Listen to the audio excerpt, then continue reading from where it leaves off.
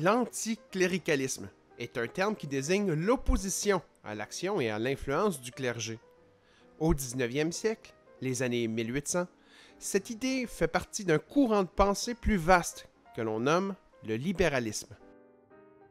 Le libéralisme défend la liberté sur trois principaux aspects, l'individu, la politique et l'économie. Les libéraux canadiens, parfois aussi appelés les Rouges, militent notamment pour la liberté d'expression, le droit de l'éducation, le droit de la propriété, ainsi que la séparation entre l'Église et l'État. Ce dernier élément, la séparation entre l'Église et l'État, est la principale raison derrière l'anticléricalisme de certains libéraux.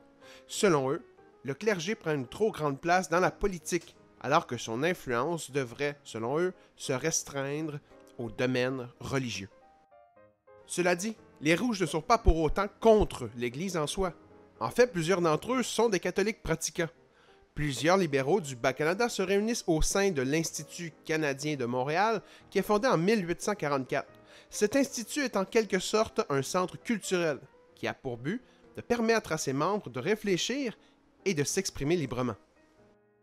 Le clergé ultramontain, qui croit à la supériorité de l'Église sur l'État, s'oppose vivement aux libéraux parce que ceux-ci diffusent des idées qui sont contraires à celles de l'Église et parce qu'ils refusent de se soumettre à son autorité.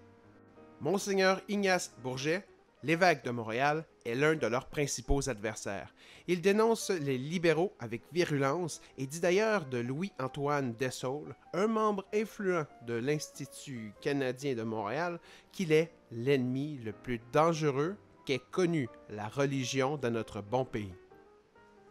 L'Institut canadien est condamné par le pape en 1869.